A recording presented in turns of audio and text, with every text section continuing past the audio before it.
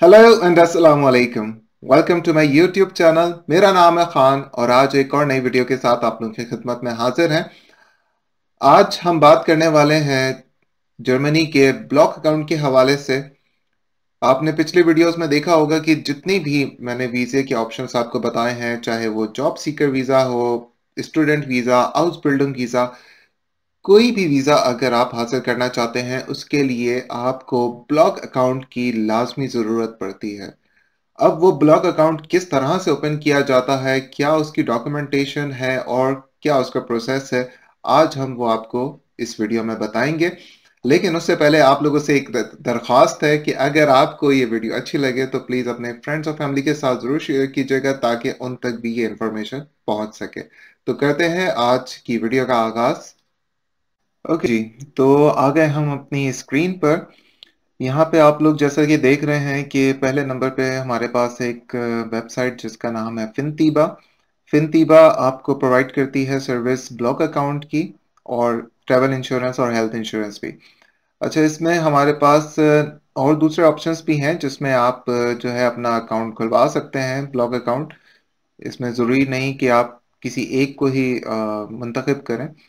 तो दूसरा है हमारे पास क्राइकल और क्रॉकल भी जो है यही सर्विस प्रोवाइड करता है कि आप किस तरह से जो है अपना अकाउंट ब्लॉक कर सकते हैं। हर किसी की फीसेस हैं और मिनिमम फ़ीस मैं समझता हूँ कि फोर्टी फिफ्टी यूरोज होती हैं और यहाँ पे आप लोग देख भी रहे होंगे कि इनकी फ़ीस वगैरह के स्ट्रक्चर्स आ रहे हैं। दूसरा हमारे पास है एक्सपेक्ट्रियो ये भी ब्लॉक अकाउंट की ही एक वेबसाइट है और ब्लॉक अकाउंट बैंक है जो कि आपको प्रोवाइड करता है सर्विस ब्लॉक अकाउंट के हवाले से। इनके भी डिफरेंट पैकेजेस हैं, वो आप गो थ्रू कर सकते हैं। पहले जो है वो प्रोवाइड किया करता था ये सर्विस डोचे बैंक और डोचे बैंक जो है वो आपके कंट्री में मौजूद था और वहाँ से इजीली आप ओपन करके वहीं के वहीं आप अपनी एप्लीकेशन सबमिट कराने के बाद अपनी अमाउंट ब्लॉक करा दिया करते थे।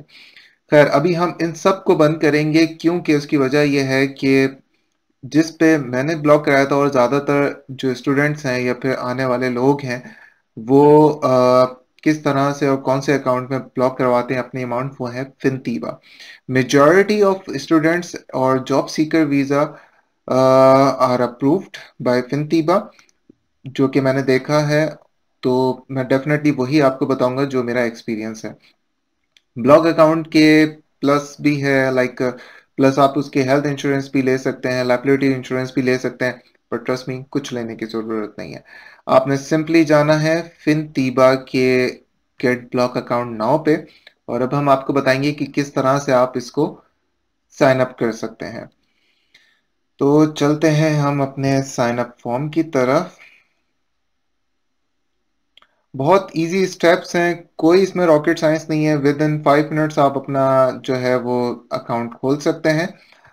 और अपना अपने सबसे पहले स्टेटस डालना है। आपका नाम क्या है? अब मैं यहाँ पे डाल देता हूँ। ए बी डी अब्दुल मेरा फ़र्स्ट नेम है। लास्ट नेम मैं यहाँ पे डाल देता हूँ। खान।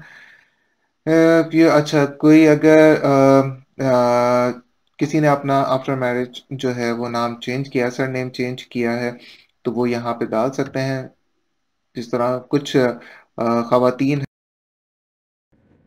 तो डेट ऑफ़ बर्थ जो है वो आप यहाँ पे डाल सकते हैं और कुछ खातन जो चेंज कर लेती हैं अपने स्टेटस को तो वो शादी के बाद अगर स्टेटस अपना चेंज करके यहाँ पे नाम ऐड करना चाहते हैं सर नेम तो वो भी ऐड कर सकते हैं। इसके अलावा अपने यहाँ पे अपनी नेशनलिटी डालनी है और सेकंड नेशनलिटी है तो वो आप यहाँ पे डाल सकते हैं। उसके अलावा यहाँ पे आप जितने भी ऑप्शंस हैं, वो आप फिल करके आप अपनी एप्लीकेशन को कैरी फॉरवर्ड कर सकते हैं।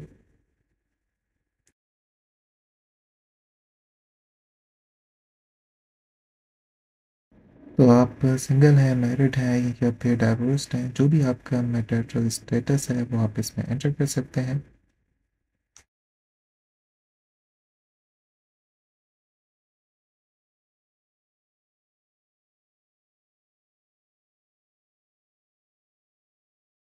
हाउस बिल्डिंग जैसे कि मैंने आपको बताया था कि हाउस बिल्डिंग के लिए भी अब चाहिए होता है, और हाउस बिल्डिंग की एक तरह से सर्टिफिकेशन है। तो यहाँ पे आप डाल दें स्टडी वीज़ा और फिर इसको कर दें कंटिन्यू तो नेक्स्ट स्टेप पे हमारे पास आ जाता है कि कब हमने पहुँचना है जर्मनी तो मैं अभी के हिसाब से मैं डेट डाल देता हूँ for example tenth of August 2023 को मैं पहुंचूँगा। Would you like to health insurance package अब हेल्थ इंश्योरेंस का पैकेज मैं आपको किसी और वीडियो में आपको मैं बताऊँगा कि किस तरह से आप हेल्थ इंश्योरेंस ले सकते हैं। तो फ़िलहाल के लिए इसको नो कर देते हैं, ठीक है? इसको करेंगे कंटिन्यू और इधर आपने जो है वो डालना है यूएस टैक्स स्टेटस तो अगर आपके पास यूएस से रेलिवेंट कुछ भी आपके पास है तो आप इसमें एंटर कर सकते हैं। मेरे पास यूएस से रेलिवेंट कुछ भी नहीं है। तो मैं इसमें करूँगा नो और you jointly text no we have no okay continue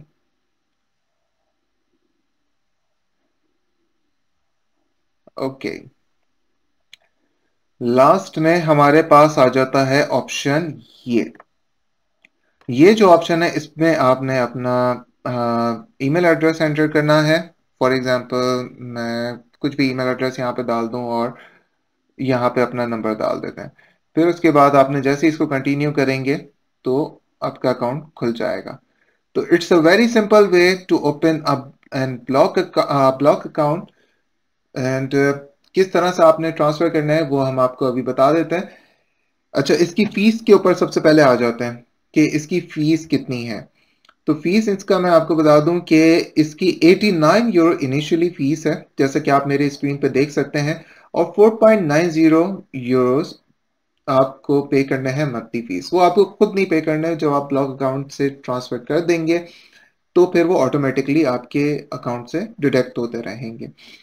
अच्छा फोर टू फाइव वीक्स लगते हैं अगर आपका जो है वो, आपको लगता है कि मुझे अब नहीं जाना और जर्मनी मेरा आप जाने का प्लान नहीं है और आप रिफंड चाहते हैं तो फोर टू फाइव वीक्स में वो भी रिफंड हो जाते हैं।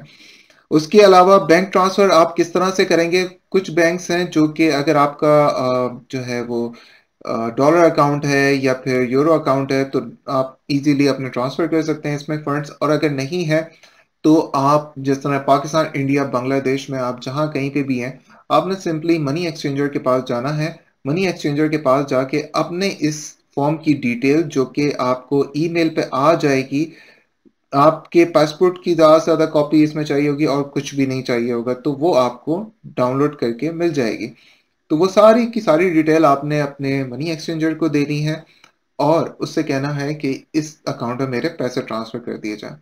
जब आपके पास कंफर्मेशन आ जाए उसकी तो आपने सिंपली उसको डाउनलोड करके अपने वीज़ा एप्लीकेशन फॉर्म के साथ उसको सबमिट करा देना है। जब आप लोगों ने देखा कि कितने आराम से हमने अपना अकाउंट ओपन कर लिया था और कितने स्मूथली ये स्टेप्स थे।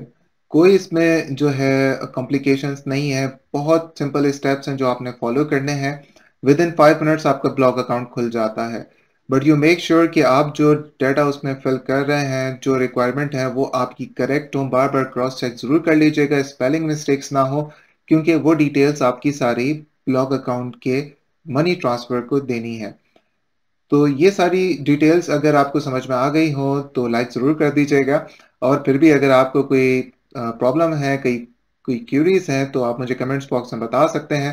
I will definitely answer to your questions मिलते हैं आपसे नेक्स्ट वीडियो में। नेक्स्ट वीडियो में आपको बताऊँगा कि जर्मनी जाने के बाद कौन सी इंश्योरेंस आपने लेनी है। प्राइवेट इंश्योरेंस या फिर पब्लिक इंश्योरेंस टिल देन अपना बहुत सारा ख्याल रखिएगा. Thanks for watching my video take care अल्लाह हाफिज बाय